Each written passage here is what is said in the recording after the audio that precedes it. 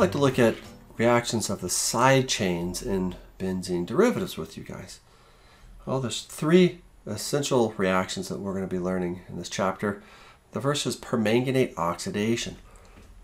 We've seen oxidation with permanganate before when we talked about forming diols of alkenes and oxidative cleavage.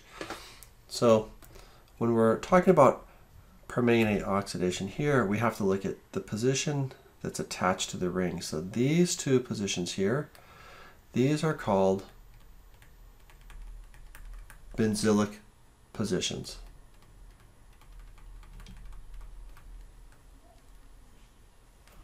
So those are the carbons that are going to get oxidized. So in um, concentrated hot basic um, 100 degrees Celsius, right, something warm, um, these carbons can get oxidized to carboxylates. So they form COO minuses. And then this CH3 gets further oxidized also. So that turns into a carboxylic acid as well. And what we're left with is this carboxylic acid, and then what we simply do is we do an acid workup here to form um, the full carboxylic acid. Other thing to point out here is that you have an activated ring, and then over here you have become deactivated. Okay. Well, we've seen this reaction in previous chapters, so side chain halogenation.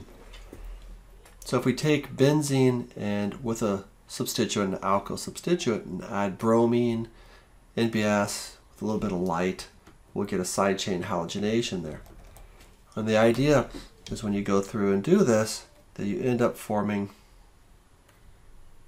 a radical here, right? And then you get lots of resonance with this. So you end up having, um, uh, in the end, just two products. So the, the resonance, just to point out with the radical in the ring, that ring is never going to lose its aromaticity. So it's just that position where we're going to react. Now, um, because that's a chiral center, we end up getting a mixture of two products. In this case, they happen to be enantiomers of each other. Well, chlorination is less selective than bromination. So if you chlorinated this, then you would have the potential to chlorinate at other positions. Um, uh, it turns out that when you chlorinate this molecule, you end up getting, um, if we take this molecule, abbreviate like this, if we use chlorination here, with a little bit of light, what you end up getting is end up getting a mixture of enantiomer similar to that of um, the bromine situation, but you also get that guy too. Um, and you look it up, this is about 44%, this is about 56%. All right, but with bromination, that's not going to happen because it's more um, selective at tertiary and allylic, this is an allylic position, than chlorination is. And we saw this one, I mentioned this one in a previous lecture, but this is Clemmensen reduction. So this takes a deactivated meta-directing substituent and turns it into an activating um, OP director. So that's the other reaction that's important. And then there's a fourth one that I want to just throw in here with you guys. And the, the fourth reaction is something that we see in the textbook and in the problems, and it involves the nitro group. So um, what we see for this is hydrochloric acid and iron, right? Or there's a couple other flavors of this thing. You can have HCl with amalgamated zinc. A lot of times students like to use that because it's the same as the Clemmensen reduction are HCl and tin chloride. Um, and in the end, what you end up getting is your nitro group turns into an amino group. Now, nucleophilic aromatic substitution is the second big reaction in this chapter. So the, the two big ones are EAS and NAS. It turns out that nucleophiles can displace halide ions. These are good leaving groups, right? Halide ions are good leaving groups. From aryl halides, if two things are met. Number one, you have strong electron withdrawing groups bound to the ring located ortho para to the halide. So ortho and para are best, but we'll see the reaction can occur with only ortho or only para. And then the other thing is that we need to have a strong base, right? Um, so there's two type of bases that we'll see. One is um, going to be stronger than the other. So sodium hydroxide and sodium amide. So um, let's take a look down below at the reaction. So let's take a look first at addition elimination. So that, that's our first reaction here. So with addition elimination, um, as the name implies, the first thing that happens is we see an addition. So here we have hydroxide as your base, or the nucleophile. So that's going to come over and grab a hold of that carbon. This, just to highlight for you, remember, that is your leaving group. Okay? So once that comes in and attacks here, you're going to end up with a negative charge on the ring. So this is different because in the EAS reaction, that was a positive charge. So here we have a negative charge. Okay? Now, the reason why we want to have these electron withdrawing groups, ortho and para, is because when we have that negative charge here, it's actually a resonance stabilized by the nitrogen that's of the nitro group because recall that has a positive charge. So every time we're adjacent with this negative next to the, the nitrogen, we end up having this additional resonance structure. So it goes out of the ring.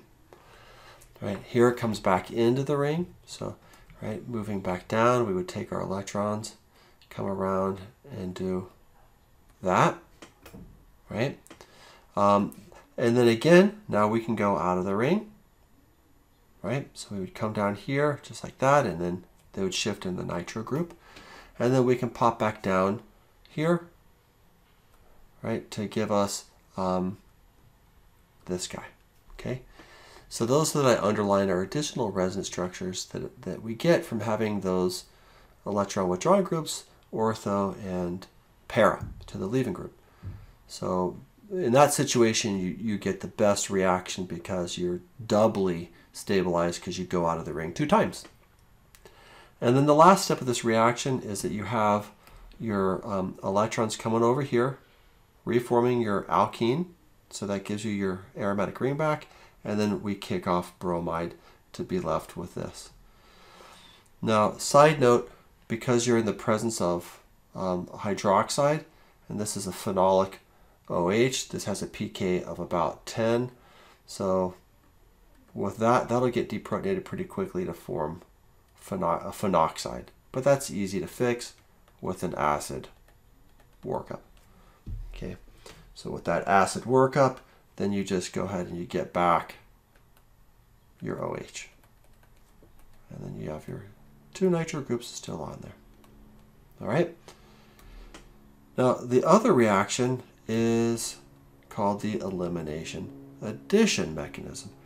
It's also known as the benzyne mechanism. So uh, benzyne, you have benz here because you have a benzene ring, and the ine because of a carbon-carbon triple bond. So it's an interesting reaction. So let's let's work our way through understanding it a little bit more. So we know that we can form phenol commercially. Um, it's a known reaction by the reaction of sodium hydroxide with chlorobenzene. So you put sodium hydroxide in there. Um, the one thing that should stand out to you though is this is quite hot. So 350 degrees Celsius is a very high temperature. So this is an industrial synthesis.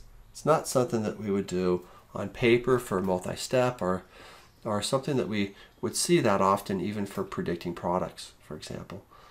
And the same thing can happen down here below um, with aniline. So chlorobenzene can react with sodium amide. Remember sodium amide has a pK of 36. It comes from NH3. Um, and we get a, a, a substituted uh, ring here. Now, th this is interesting because this temperature can be much lower than that of the top reaction with sodium hydroxide. So why can the temperature be so much lower? Well, there's some clues. So a clue to this mechanism um, was discovered by looking at this reaction. So in this reaction, we have a leaving group here, and we have toluene, right? So it's a it's a paratoluene substituted molecule. And NaNH2, NH3. So we know in the end we're going to get an NH2 on our ring. The question is, where is it going to go? Well, it turns out that it shows up both where that carbon of our leaving group is, uh, that's this position, and also adjacent to it. Not only does it, does it show up in both places, but they show up essentially 50-50.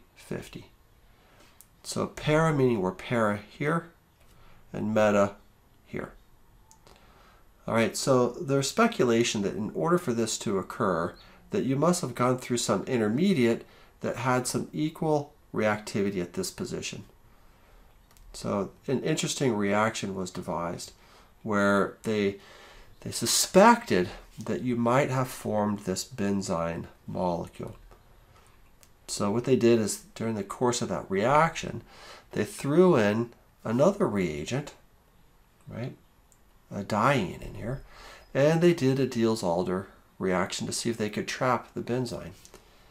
And they did. So they found evidence of this in the reaction mixture, which therefore meant that benzyne must have been formed. So what is benzyne? So benzyne is um, a molecule that has alternating single and double bonds, but one of those double bonds is a triple bond. Well, let's look at that.